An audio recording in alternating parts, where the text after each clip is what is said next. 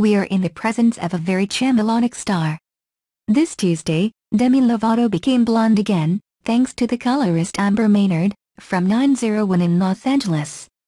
Lovato launched her lightest tone in her Instagram stories. Demi had dark hair for a while, we thought, what better way to change things than a lighter color and extensions?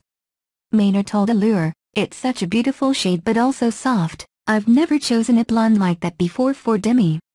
To take her from brunette to blonde, we started the process with Joico Color Intensity Eraser and then we clarified with Joico Blonde Life, especially I made the formula for her roots and adjusted the tone with Joico Lumishine Demi-Permanent Liquid Color. Maynard added that Lovato has always been willing to take risks.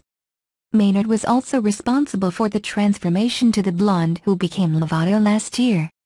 Demi rocks her short, dark hair for a year, she told people that time. She has never been afraid of change, so I think it was a natural evolution for her. Lovato has worked with Maynard for seven years and has tried almost every color of the rainbow. I've tried all the colors, the singer told Elle earlier this year. I think my favorite has been blonde with pink.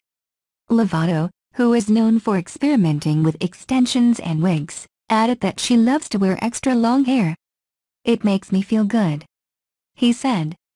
The Sorry Not Sorry interpreter will have two concerts in the United States next week before taking a break from his Tell Me You Love Me World Tour.